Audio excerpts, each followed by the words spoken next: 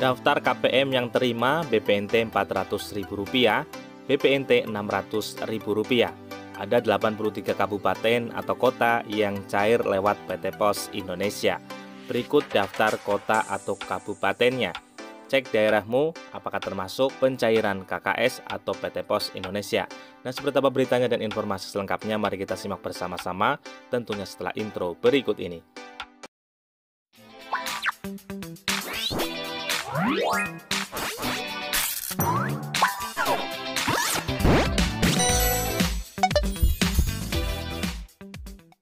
Assalamualaikum warahmatullahi wabarakatuh. Salam damai untuk kita semua dan salam damai untuk masyarakat Indonesia.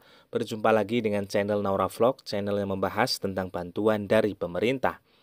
Nah di video kali ini teman-teman kita akan kembali memberikan informasi penting dan tentunya menggembirakan bagi keluarga penerima manfaat Utamanya adalah bantuan pangan non-tunai dan juga program keluarga harapan PKH karena pada kesempatan video kali ini kita akan memberikan informasi tentang daftar KPM yang akan terima BPNT Rp400.000 dan juga BPNT Rp600.000.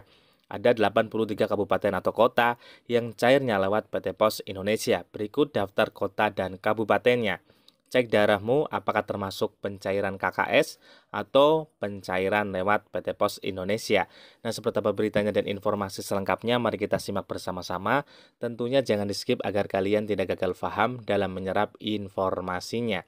Namun sebelum kita ke informasi selengkapnya bagi kalian yang baru bergabung atau melihat channel Naura Vlog, mohon dukungannya untuk subscribe, like, komen, dan share, dan nyalakan notifikasi loncengnya agar kalian tidak ketinggalan berita dari channel Naura Vlog. Yang sudah subscribe, saya ucapkan terima kasih banyak dan semoga rezeki kalian lancar jaya. Amin, amin, ya robbal alamin. Baik sahabat sosial di mana pun Anda berada, mari kita langsung saja ke informasi selengkapnya.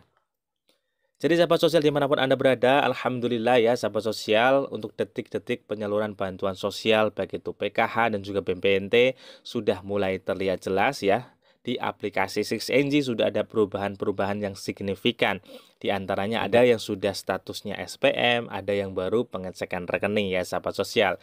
Nah, di video kali ini kita akan memberikan daftar KPM yang nantinya akan menerima Rp400.000 dan juga yang menerima Rp600.000. Kemudian ada 83 kabupaten kota yang cair lewat PT Pos Indonesia. Berikut daftar kota dan kabupatennya ya. Cek daerahmu apakah termasuk golongan yang cair lewat PT Pos ataupun cair lewat kartu KKS Merah Putih. Nah, seperti apa beritanya dan informasi selengkapnya? Mari kita simak satu persatu. Jadi sahabat sosial di mana pun Anda berada, untuk BPNT tentunya dibagi menjadi dua metode pembayaran. Yang pertama adalah lewat kartu KKS Merah Putih, untuk yang kedua adalah lewat metode PT Pos Indonesia. Untuk nanti sahabat sosial, tahap yang keempat, penyaluran lewat kartu KKS nominalnya adalah Rp400.000 untuk alokasi bulan Juli dan Agustus. Ya. Dan nanti yang lewat PT Pos Indonesia cairnya 3 bulan dan akan mendapatkan total Rp600.000. Terkhusus untuk yang lewat PT Pos Indonesia, nanti penyalurannya adalah bebarengan dengan bantuan sosial PKH tahap yang ketiga, alokasi bulan Juli, Agustus, dan juga September. Nah, apakah yang lewat kartu KKS juga akan bebarengan penyalurannya untuk BPNT dan PKH? Biasanya nanti sahabat sosial untuk PKH terlebih dahulu baru BPNT ya untuk kartu KKS khusus untuk PT Pos Indonesia nanti penyalurannya bebarengan dalam satu surat undangan dari PT Pos Indonesia tersebut ya sahabat sosial.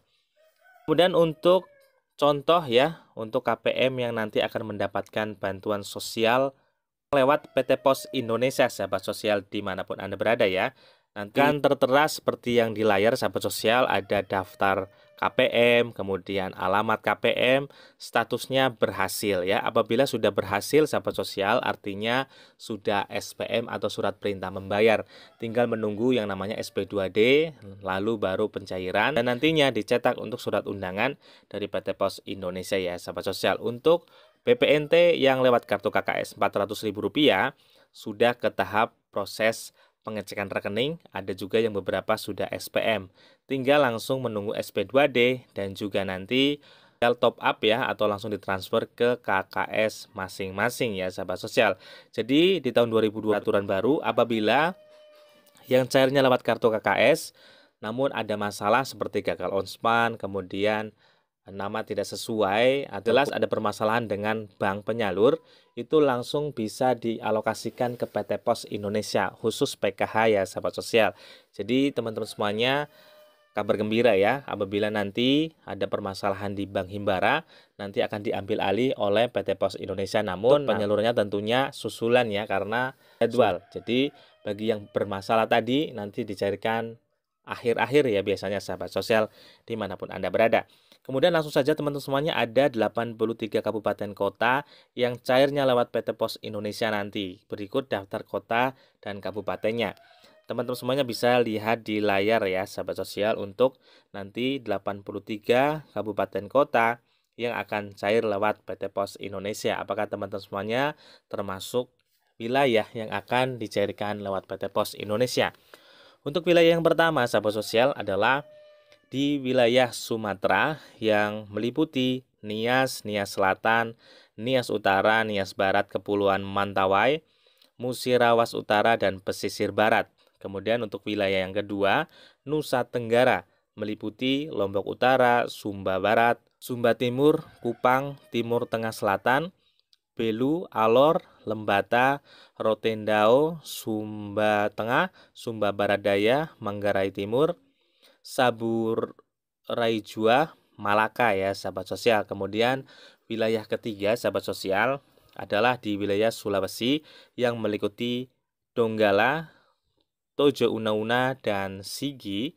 Kemudian untuk wilayah yang keempat adalah wilayah Maluku, Maluku Tenggara Barat, Kepulauan Aru, Seram bagian barat, Seram bagian timur, Maluku Barat Daya, Puru Selatan, Kepulauan Sula, Pulau Tali Abu ya sahabat sosial untuk wilayah Maluku. Kemudian yang terakhir wilayah kelima Papua meliputi Teluk Wandamo, Teluk Bintuni, Sorong Selatan, Sorong, Tambrau, Maibrat, Manokwari Selatan, Pegunungan Afrak, Jayawijaya Nabire, Paniai, Puncak Jaya, Bovendigul, Mapi Asmat, Yahukimo, Pegunungan Bintang, Talikara, Kirom, Waropen, Supiori, Mambremo Raya, Nduga, Lanijaya, Mambremo Tengah, Yalimo, Puncak, Dagiyai, Intan Jaya, dan Dayai.